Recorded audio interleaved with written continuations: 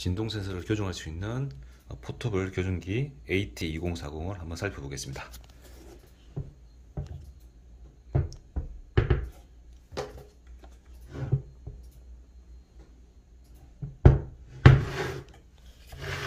지금 외부 케이스는 이와 같이 방진 방수가 될 수 있도록 페리칸 케이스로 되어 있습니다. 음, 케이스 위쪽 부분은 이와 같이 속도 센서, 가속도 센서, 그리고 센서 stud로 구성되어 있고 터치를 할 수 있는 터치펜이 있습니다. 그리고 이 부분은 요 센서를 고정할 수 있는 이 고정구를 잡아주는 렌치가 있고요. 그리고 메인 화면을 보시면 주파수 조정 레버, 진폭 조정 레버, 그리고 센서를 올릴 수 있는 고정부, 전원 on off, 차지, ICP, IP 센서를 연결할 수 있는 인풋 단자, 그리고 기타 뭐 전압을 공급해야 되는 센서를 연결할 수가 있습니다. 이쪽 부분은 어, 진동 신호 발생하는 시뮬레이터 기능이 있습니다. 그리고 이쪽 부분은 어, 시뮬레이터를 할 수 있는 이 BNC 단자도 있지만 이와 같이 네, 커넥터를 이용해서 시뮬레이터 하는 기능이 있고 음, proximeter drive 시뮬레이터 4에서 20mA 시뮬레이터 그리고 아래쪽 부분은 4에서 20mA 진동 센서라든지 proximeter에 어떤 전압을 공급해 줄 수 있는 그런 부분이 있습니다.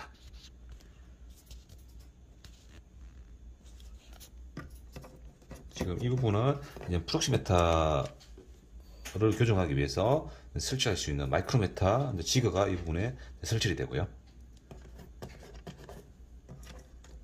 데이터 백업용 USB 그리고 전원도 나오기 때문에 어, 그 USB를 이용해서 어떤 스마트폰 전원도 공급이 가능하고 일반 전원이 필요한 그런 장치에 연결해서 전원으로도 쓸 수가 있습니다. 온오프 버튼을 누르게 되면 이와 같이 부팅이 되고요.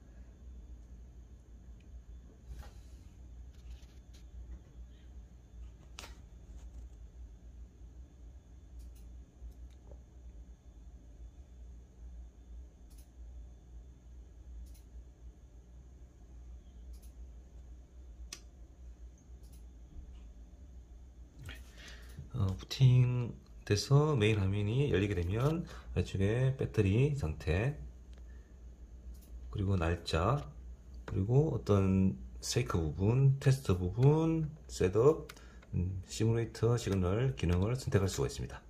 shake 부분을 선택하고 엔터를 누르게 되면 수동 모드로 진폭과 가속도 어, 주파수를 조정할 수가 있습니다.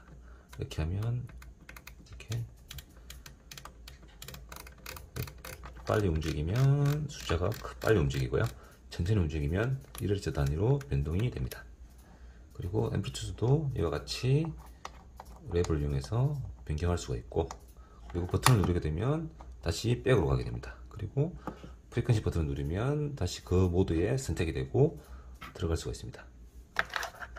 이렇게 위쪽 터치펜을 이용해서 이 부분을 선택해 주게 되면 이와 같이 가속도 메타 퍼세커 속도, 인치 퍼세커 속도, 미리미리 퍼세 어, 세커 속도, 밀서, 미리미리, 마이크로미터 다시 이같이 순차적으로 어떤 진동 단위가 어, 를 변경할 수가 있고 이 진동의 단위와 같이 진동 신호를 발생할 수가 있습니다. 그리고 이쪽 부분은 이제 피크 값이고요. 이 아래쪽 부분은 RMS를 피크 값으로 변경해 줍니다.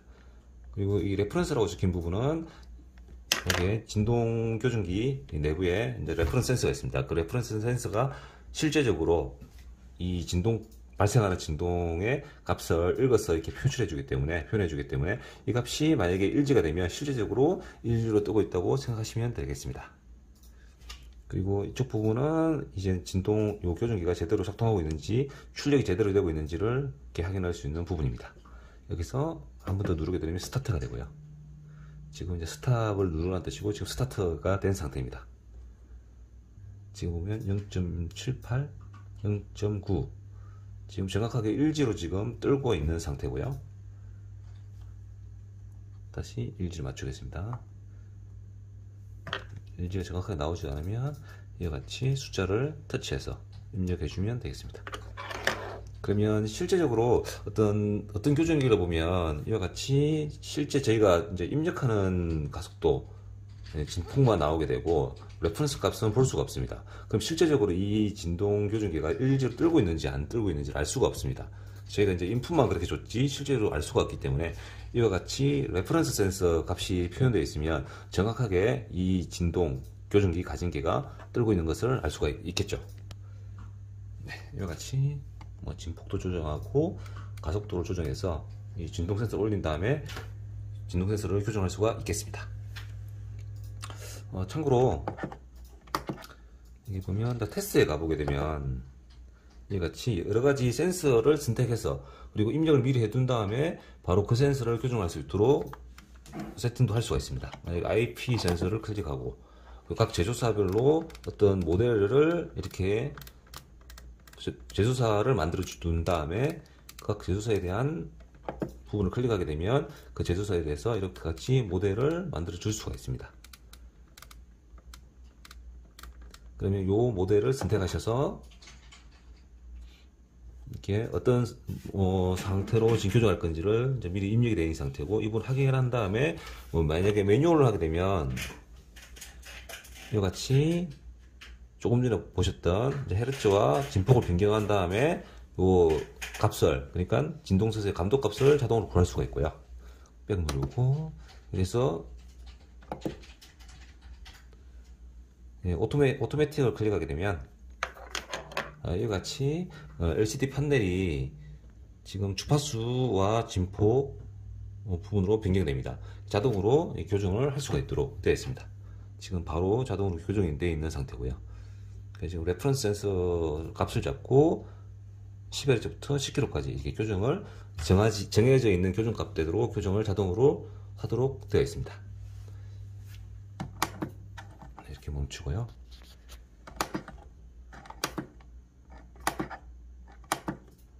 그리고 setup에 가보면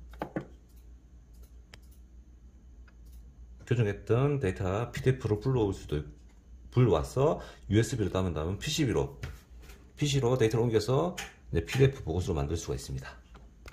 그리고 시간 네트워크 수정 가서는 어, 이 장비를 어, 와이파이 동굴기를 이용해서 무선으로 이렇게 컨트롤할 수 있는 그런 기능도 있고요. 다음에 어떤 임포트 셔터라고 해서 이 부분은 그 센트 아까 조금 전에 이렇게 어, 그 센스에 정보를 입력했던 부분을 이렇게 입력해 줄 수 있는 그런 부분입니다. unit configuration은 터치 패널 세팅하는 부분이 있습니다.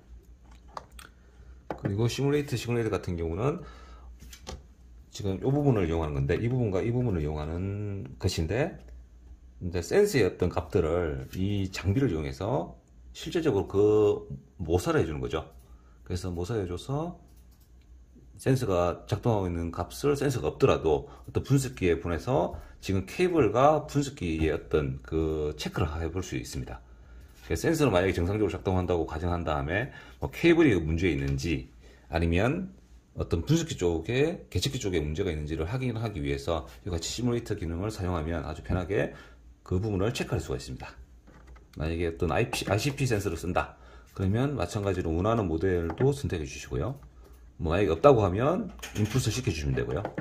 선택한 다음에 스타트를 하게 되면 지금 100Hz의 일지 값으로 이 시뮬레이터에서 신호가 나가게 됩니다.